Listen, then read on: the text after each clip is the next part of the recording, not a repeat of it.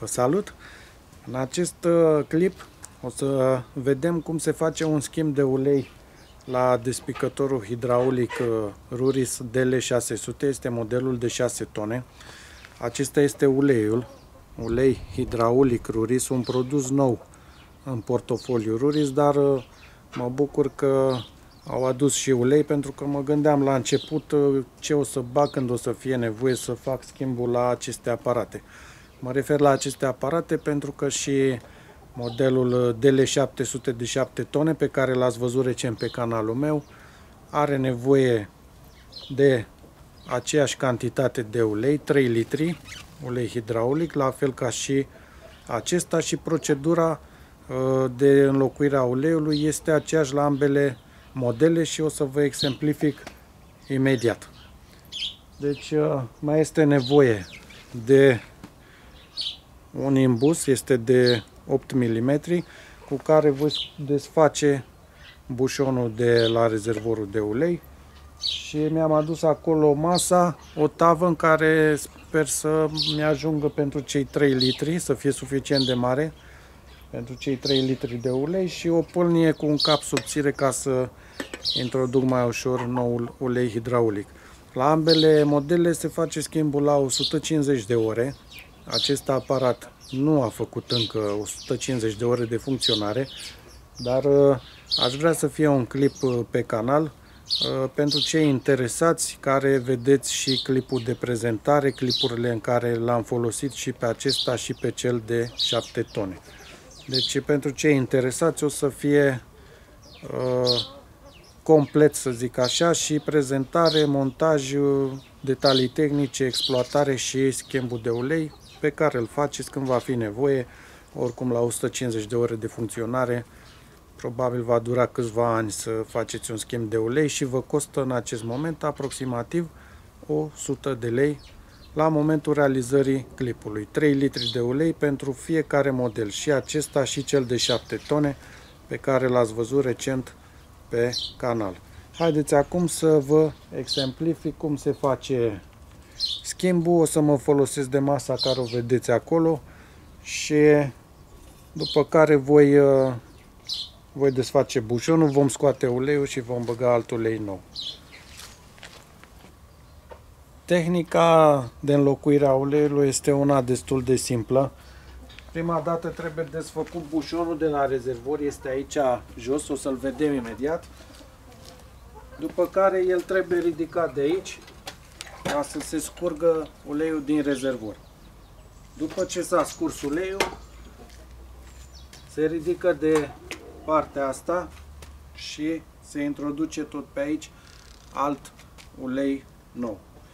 Acum o să mă folosesc de această masă ca să îl scurg. Am tava asta, nu scrie capacitatea, dar ne trebuie un recipient în care să aibă loc cei 3 litri de ulei care sunt în rezervor. Va veni aici în față și în ea va trebui să curgă uleiul când îl ridicăm din partea de unde este motorul. Haideți acum să pregătesc și eu și să vedem uh, uleiul care, care îl scoatem. Aici uh, este bușonul uh, de la rezervorul de ulei ne trebuie un imbus de 8 mm. Eu o să-l slăbesc puțin să văd și cât este de strâns și după care cred că voi opta pentru o soluție să ridic înainte despicătorul, apoi să scot bușonul, să curgă uleiul în tavă.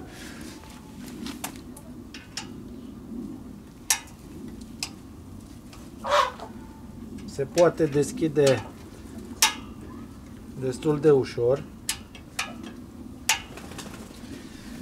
Deci uh, este ușor de slăbit, nu trebuie o forță foarte mare, probabil nici la strâns, nu va fi nevoie. Și acum o să ridic de partea aia, după care o să desfac să curgă imediat în, în tavă. Mă folosesc de această masă ca să fixez într-o poziție cât mai stabilă despicătorul, să se poată scurge uleiul cât mai bine și dacă observați aceste picioare de la corpul motorului și pompei hidraulice se sprijină pe masă, nu roțile ca să-mi alunece cumva și să-mi uh, cadă aparatul în timp ce scot uleiul. Acum o să dau drumul la bușon să scurg tot uleiul din rezervor.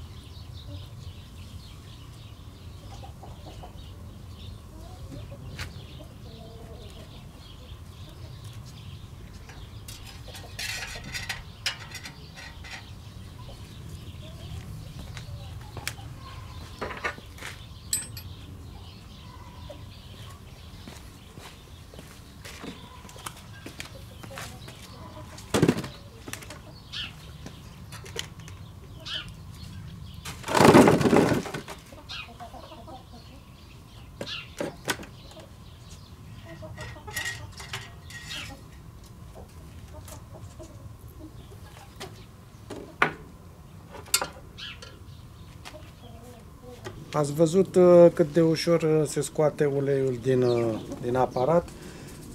Ați observat și faptul că avem o jojă foarte lungă. Are și nivel de minim și de maxim. Dacă vedeți, aici este nivelul de minim și aici este nivelul de maxim. Ocazional trebuie să verificăm nivelul de ulei din aparat. O să vă explic și pe unde ar putea să curgă ulei și aici este un o-ring de care trebuie să aveți grijă să nu forțați și să deteriorați uh, acest o-ring pentru o strângere excesivă a bușonului. Asta este poziția prin care voi băga uleiul. Asta este pâlnia, cu toate că am un cap foarte subțire aici, gaura este mai îngustă. Va trebui să țin pâlnia într-o poziție mai dificilă ca să nu-mi curgă ulei pe lângă și îmi va lua puțin timp uh, să fac uh, realimentarea despicătorului. Uh, pe aici este șurubul fluture care trebuie deschis când lucrăm cu aparatul să poată intra și ieși aerul din, din el, să nu facă o presiune în interior să deterioreze sistemul hidraulic și eu am observat dacă a fost lăsat de bot și ridicat din spate, a mai supurat ulei pe la acest șurub, deci nu este o cantitate mare, dar ocazional e bine să verificăm nivelul, îl punem în poziția asta, scoatem joja, ne uităm dacă mai e nevoie, mai completăm. Acum o să, o să bag uleiul ăsta hidraulic și o să dureze puțin realimentarea cu ulei.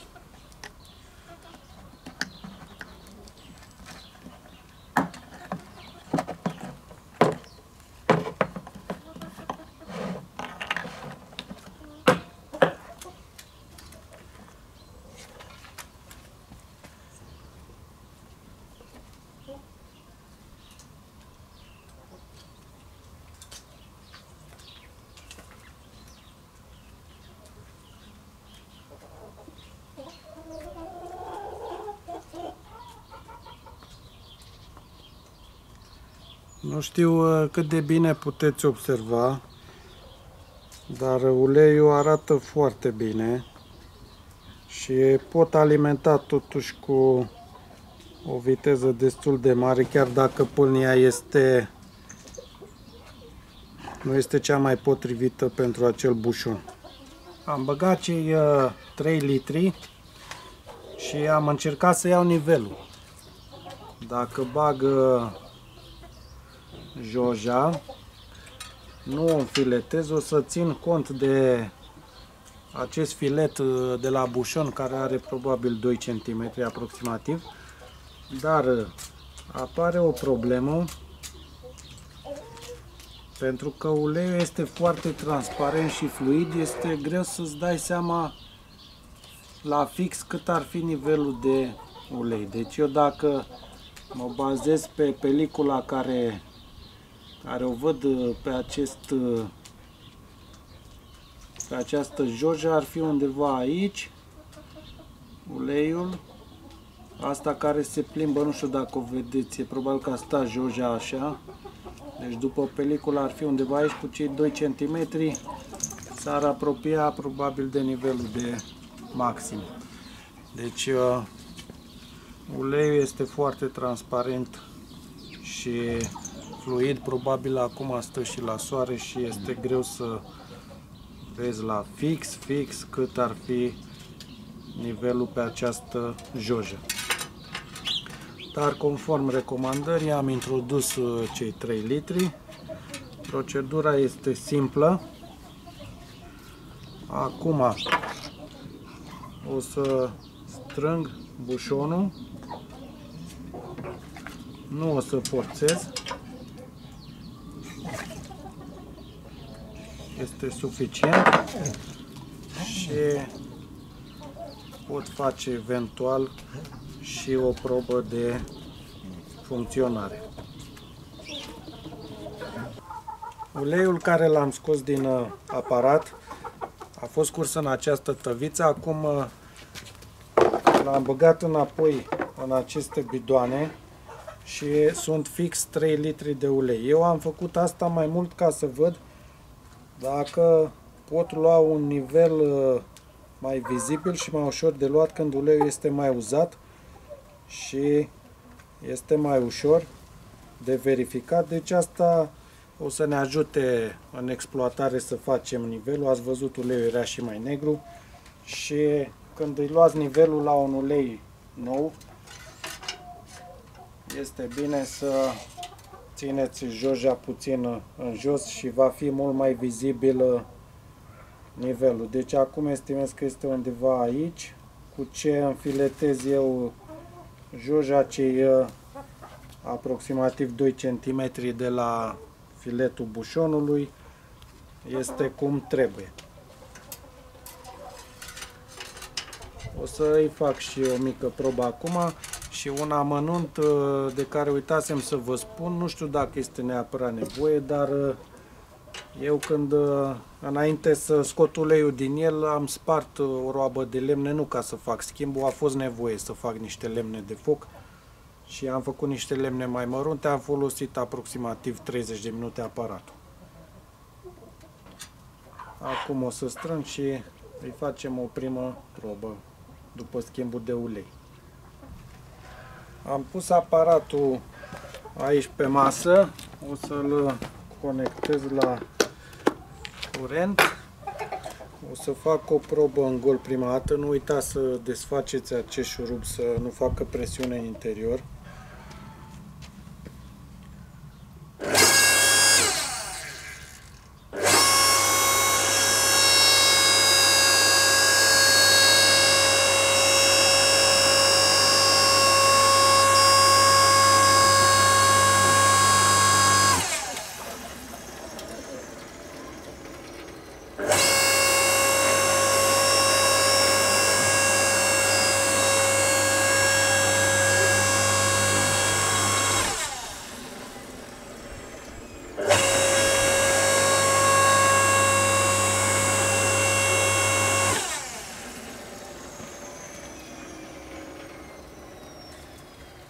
Merge bine, nu sunt scurgeri, pompa nu are sunete anormale. Acum o să încercăm să spargem și un buștean.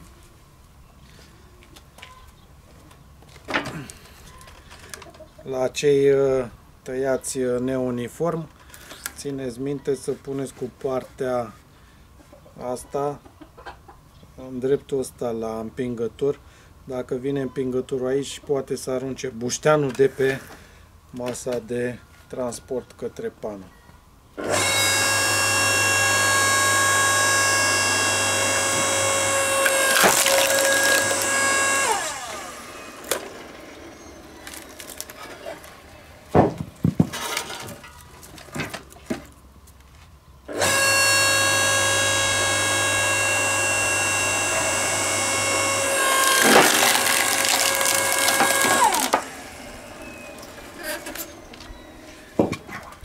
are și un nod